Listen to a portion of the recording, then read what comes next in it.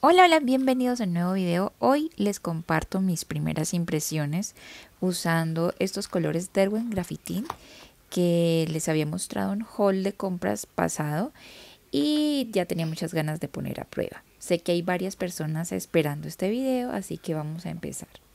Son unos colores que eh, son acuarelables y para eso voy a usar este papel canson de Mix Media, voy a probarlo sobre ese.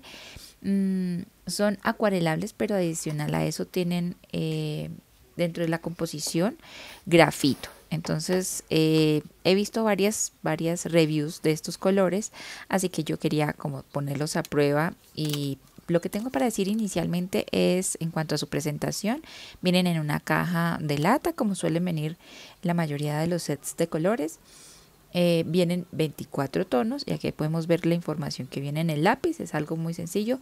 Vienen el nombre, el número y la marca. Básicamente es eso lo que podemos encontrar de información dentro del lápiz. El lápiz es de un acabado bonito, sin embargo la madera no me parece tan tan pulida. Eh, y los voy a estar usando sobre este papel Canson de Mix Media de 200 gramos. Entonces, lo primero que voy a hacer, y usualmente no les muestro esta parte, pero es eh, importante para este caso, y es la, paleta de colores. Entonces voy a usar este sellito como para apoyarme y hacer como toda la, la paleta y los voy a numerar del 1 al 24 en orden consecutivo y vamos a empezar a aplicar los tonos. Quise mostrarles el paso a paso de esto porque quiero que noten algo importante y es que inicialmente cuando empecé a dar color sentía que todos los colores estaban quedando muy muy parecidos. Era como si hubiera comprado una caja de grises. Aunque en, los, en las pinturitas o digamos las muestras de color que van pintadas dentro del lápiz se ven colores mucho más vibrantes, al aplicarlos yo sentía que eran colores bastante, bastante similares. Incluso en algunos no se percibía casi ni siquiera la diferencia.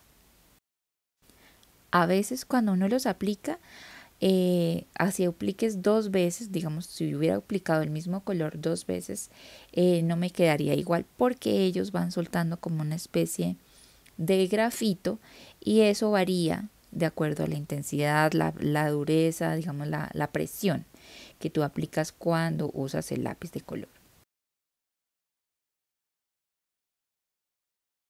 Y así queda la paleta de color. Ahora sentía, y es muy importante acuarelarlos. Aquí empezamos ya a notar las diferencias entre los tonos. Así que primera cosa que tengo para decir es, si ustedes no tienen colores acuarelables y quieren unos, pues digamos que esta no es la opción. Estos son como un complemento para alguien que le guste usar este tipo de tonos, pero ni van a encontrar toda la gama de colores que uno usualmente tendría a la mano, pero digamos que son una opción chévere, son un complemento muy muy interesante. Después de acuarelarlos ya empiezan a aparecer como los tonos reales y bueno, varía mucho también de lo que se ve en la punta del lápiz y en la pintura del lápiz a lo que queda ya aplicado. Así que bueno, teniendo ya la paleta lista, voy a mostrarles este sellito de Mama Elephant usando esos colores porque pensé que los animalitos serían como eh, el modelo perfecto para usar este tipo de colores. Me gustan mucho porque siento que son unos colores que yo normalmente no uso, que normalmente no encuentro fácil en una paleta de colores de lápices acuarelables normales. Así que siento que es una muy buena opción para lograr un acabado completamente diferente. Por aquí en el coloreado empiezo suave.